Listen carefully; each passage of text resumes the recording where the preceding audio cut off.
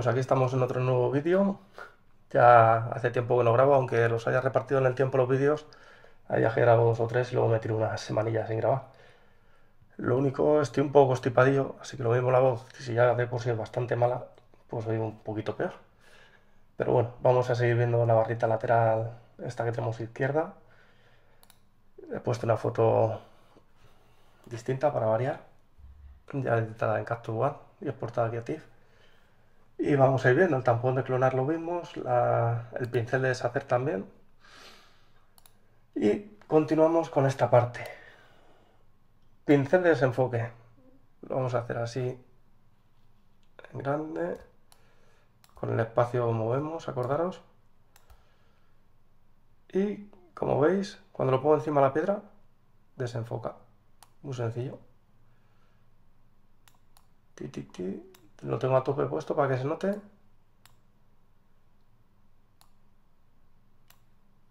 Y como veis, el efecto es simplemente que se enfoca. Hay algo cambiado, que de unas pruebas que está haciendo antes. Una piedra que se mueve en el fondo. Pero bueno. Comando Z, Z, Z, Z, Z. Ahí vemos cómo va. Vale, pues ahí lo tenemos ya bien. Pues ese es muy sencillito. ¿Para qué podría valer? Pues poniéndolo muy grande y desenfocando todo lo que ya está, por ejemplo en un retrato, desenfocando los bordes para darle más protagonismo a la cara. O en un paisaje incluso, una zona que crees que abarca desenfocada.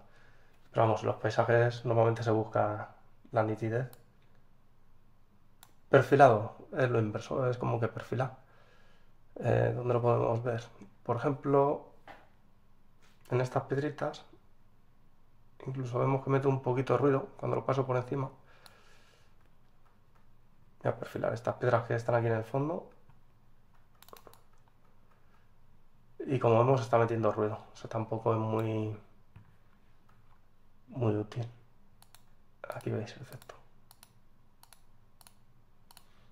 Ahora puesto aquí podemos ver ruidito y si lo quito desaparece el ruido pero se ve un pelín más borroso. Así que comando Z y vamos rápido que luego se hacen los vídeos muy largos.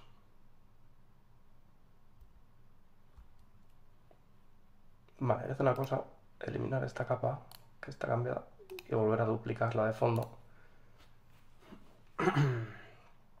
Vale, hemos visto este. Pincel mediano, es como que si os fijáis quita detalle es como que se lleva todo al punto medio de exposición o, hace como una media, es como un desenfoque distinto. Quita mucho detalle. Por ejemplo, ahí vemos estas grietas que hay en la piedra aquí. Lo paso y las ha quitado de una pasada por completo. No le encuentro utilidad. Quizás para una cara quitar imperfecciones podría valer. Pero bueno, ahora vamos a ver cosas mejores que esa. Así que comando Z. Comando Z, ahí lo tenemos, vale. Último, pincel de difuminado. Esto es más de dibujo. Y esto simplemente que arrastra. Ahí lo hace feo. Si le pongo la fuerza 100, lo hace más feo. ¿Para qué podría valer esto? Así que se me ocurre. A lo mejor para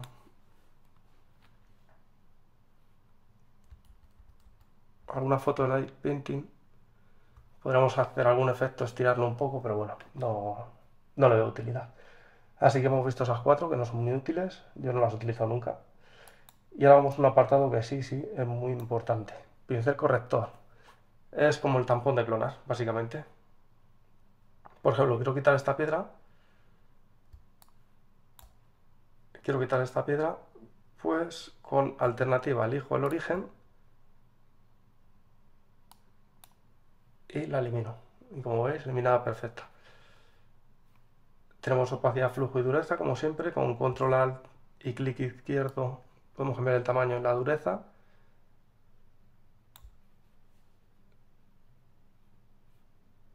Y pues es eso básicamente. Vamos antes y el después. El pego bastante bien, no sé si usará algún tipo de inteligencia artificial o algo. Pero lo hace bastante bien.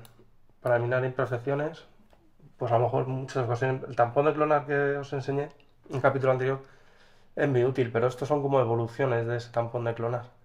La herramienta parche es como el lazo. Como vemos, vamos haciendo el lacito. Y una vez que soltamos, buscamos el origen.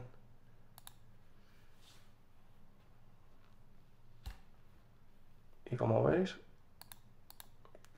también se puede eliminar bastante bien. Vale. Mm. ¿Para qué puede valer? Pues para eh, eliminar cosas con forma irregular. Bien, pasamos al siguiente. Eliminación de imperfecciones. Este está bien para las motas. Eh, es como el eliminador de motas de, de Lightroom. Por ejemplo, quiero quitar esta flor de aquí. Pues ajusto el tamaño,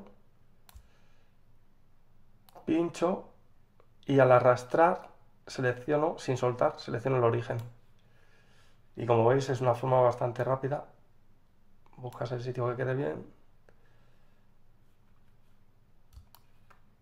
Por ejemplo esta piedra, a seguir con ella. Pues puedo pinchar y ya seleccionando, pues busco, digo, pues aquí queda mejor, ahí, pum. Igual tiene su dureza y todo. Ah, no, en este caso no tenemos dureza, es suave por defecto. Pues nos fijamos, la transición la hace un poco suavizada. Vale, comando Z, Z. Comando Z, comando Z, ya está todo que teníamos. Estas herramientas son muy útiles para limpiar la foto. Pincel de restauración. Este es como un pincel inteligente que va a tomar en cuenta lo de alrededor. De hecho, aquí le puedo decir capa actual o capa actual inferior. ¿Por qué? Porque ahora yo, por ejemplo, quiero aquí eliminar cosas, pero quiero hacer una capa separada, por si acaso. Pues doy a nueva capa de píxeles y elijo que el origen sea la capa actual y la anterior. Entonces, ahora marco lo que marco en rojo es lo que va a buscar cómo rellenar y voilà, al soltar lo rellena. Es también bastante muy útil y muy rápido. Vamos a quitarse, aquí ya ha fallado. Pues lógicamente cuando ya son cosas muy... Ahí lo ha hecho bien. Vamos a quitar por ejemplo esta flor. Bueno, puede dar el pego lo hace bastante bien. Y al hacerlo en una capa nueva, si nos fijamos en la capa nueva, nada más que tiene los, las correcciones que he hecho. Entonces ahora podría, si no me gustara, borrar aquí una corrección o demás. Eliminar esta capa. Muy útiles, todas estas son muy útiles. Eliminación de ojos rojos nunca la he utilizado, pero básicamente sería... Mm, lo vamos a hacer. Vamos a tardar poco. Cojo rojo. Uf, tan grande.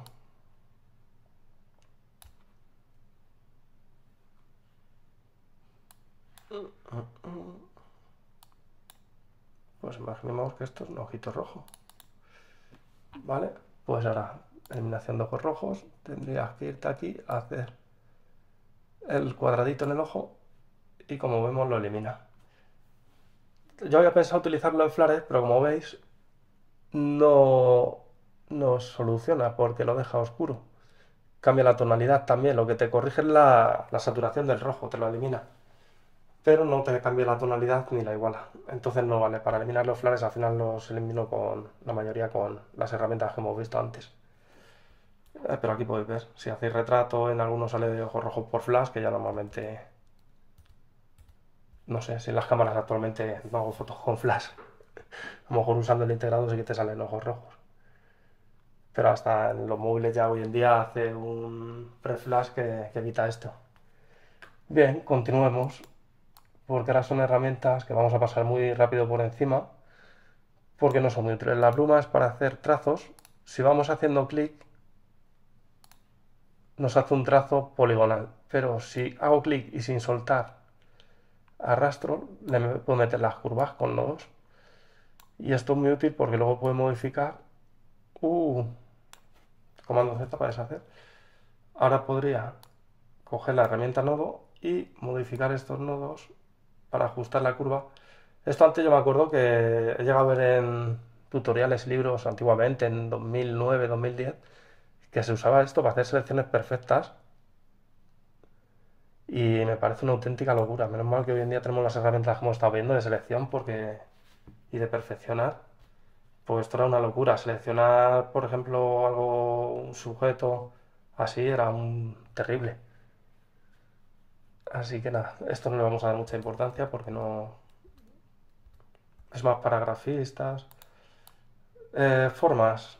Todas estas formas que queremos poner un corazón, relleno en blanco, trazo en rojo, podemos elegir aquí el trazo sin trazo, punteado o estilo de línea con textura, que sea texturizado, le voy a dar mucho. Por ejemplo, queremos hacer uno en... Bueno, vamos a hacer una cosa sencillita. Por ejemplo, queremos meter una firma aquí dentro de un cuadrado semitransparente. Pues cogemos la herramienta rectángulo. Ahí tenemos el relleno lo hacemos en una nueva capa y lo colocamos. Ahora con el cursor podemos moverlo y podemos centrarlo en la imagen, podemos ajustar el tamaño y ahora podríamos fácilmente, como está en una capa nueva, ponerlo en modo luz suave y bajar la opacidad. Y aquí podríamos añadir el texto, por ejemplo, que es la siguiente herramienta que vamos a ver. De hecho, lo vamos a dejar aquí. Y tenemos el cuadradito. Y ahora podemos... La siguiente herramienta tenemos herramienta texto artístico o texto o marco de texto. Pues aquí ya me pillas. Texto artístico es lo que uso nuevamente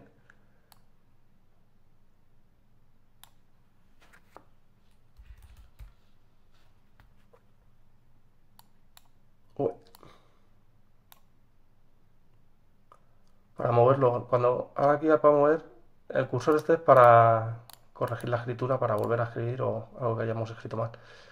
Los tiradores normales y si nos ponemos en la línea azul, ahí podemos moverlo. Lo centramos aquí y aquí. Y ahora lo ponemos.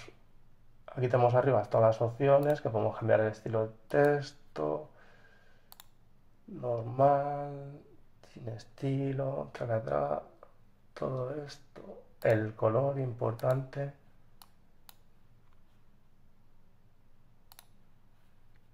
Y lo podemos poner, por ejemplo, ahora que está en una capa nueva, en modo luz suave.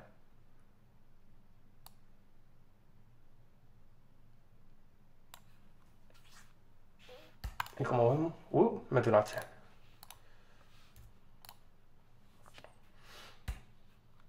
y ahí tenemos. Pues te puedes hacer una firma prehecha y guardarla.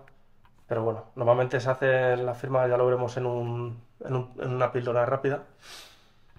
Y, y se puede hacer directamente que sea un pincel para darle un clic y ya está. Eh, puede que lo grabe hoy ese vídeo. Vale, pues ya hemos visto la herramienta texto. Texto, había otra. Marco de texto.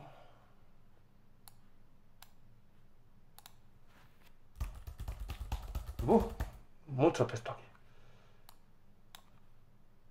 Un tamaño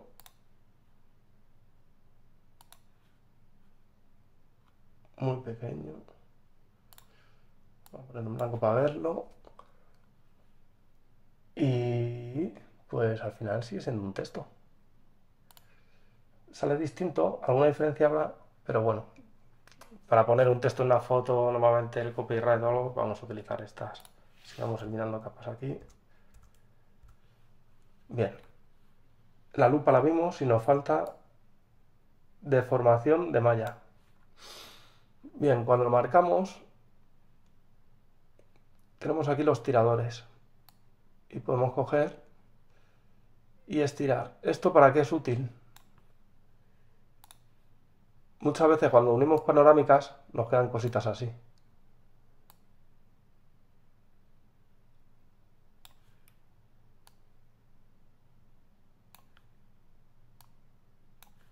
Pues aquí nos podría valer perfectamente coger el tirador. Siempre, yo siempre tiro un poquito más, no vamos a notar pérdida de calidad. Hombre, tampoco vamos a tirarlo por aquí. Pero bueno, mira, se pueden conseguir efectos. Lo que pasa es que, claro, esto lo haces y como vamos a ver, aquí se ve ya... Bueno, no, no se ve ni más, casi.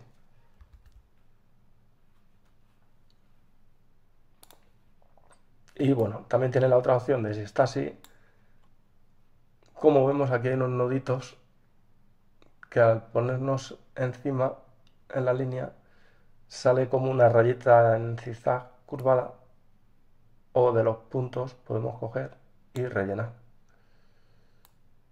Así también. Pues si por ejemplo muchas veces en las panorámicas lo que nos pasa es que se nos queda algo así. Esto es bastante común, que se quede algo así, pues aquí simplemente sería coger de este, levantar, no levantarlo mucho, y luego de este, levantar, y ya lo tenemos cubierto, esa parte.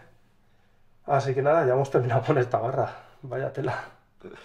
Al final se ha hecho larga, pero bueno, yo creo que ha quedado todo más o menos explicado, menos dos o tres cosas que no uso porque no conocía porque no uso.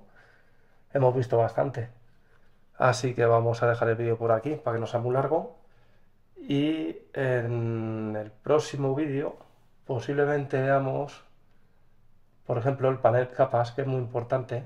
Lo hemos estado trabajando y no un poco por encima. Y ahí es la deformación que le hemos metido sin querer. Es muy importante cuando se trabaje con eso, antes de que se me olvide, con la deformación de malla, hacer un duplicado. Por si acaso la liamos no tener que andar deshaciendo. O posiblemente en la próxima tanda veremos todas estas herramientas de la derecha, los ajustes y demás. Así que nada, eh, lo vamos a dejar por aquí, un saludo y hasta el próximo vídeo.